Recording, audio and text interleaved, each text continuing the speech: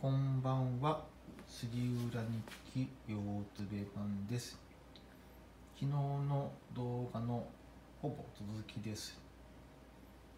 昨日第一印象めんどくさいだったキャンプ用のコットですね。その後頑張って作りまして。でまあ10分か15分ぐらいで作れまして慣れればもっと早くなると思いますがこんな感じです。このフューチャーホックスっていうかのブランドかな。足が5本。5本というか5本5箇所が売りのようでこれによりあのバランスが取れて非常に寝寝心地がいいということで。でちょっと割引になったんで買ってみたんですが実際寝てみて確かに。寝心地はなんか初めての体体感のような感じでハンモックハンモック寝るっていうかハンモックハンモック自体寝たことないんですけどそんなようなふわふわした宙に浮いた雰囲気でこんな感じ僕はこんな感じなんですが寝てみますなんかトランポリンのようなそんなよくわからんそんな感じですけどなんかいい感じで。でございます。ただ何分部品件数が多いのがキャンプの難点っぽくてですね。これひっくり返しますと。こんな感じですね。1234これハイコット状態の時は20個の柱を取ってですね。あとどっちにしてもローコットも含めて1234525個。あとこの端っこの長い棒ですね。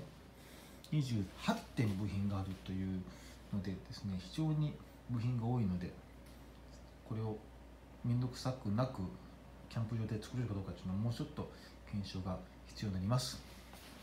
がこの動画を終えたらちょっとバラしてみようと思いますが、えー、バラしてみた写真は動画と動画にの説明欄にある、えー、リンク貼ってある、えー、ブログ杉浦日記に写真を載せますので連動してますのでまた見てください。でもう一つネタがあります。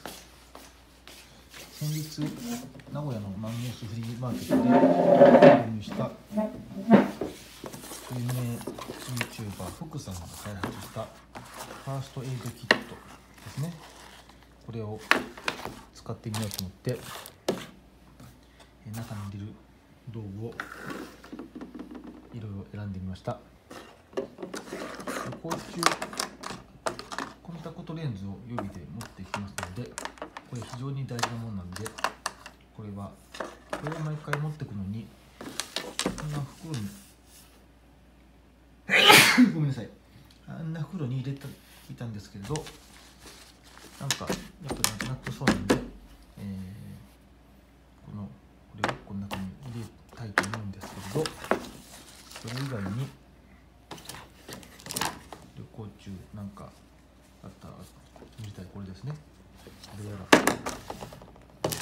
先ほど歯ブラシセットをですね。ダイソーに行ってちょっと別の点もあったんですがちょっと短いのを買ってみたのですがこれだったら入る。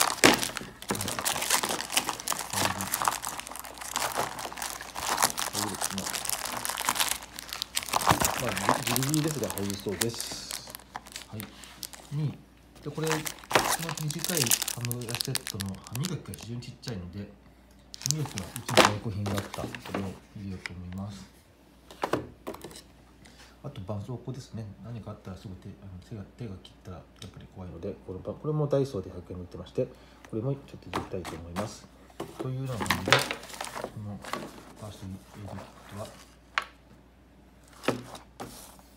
お出かけに、えうに、まあ、常にこんなのが入った状態で入れておきたいと思います。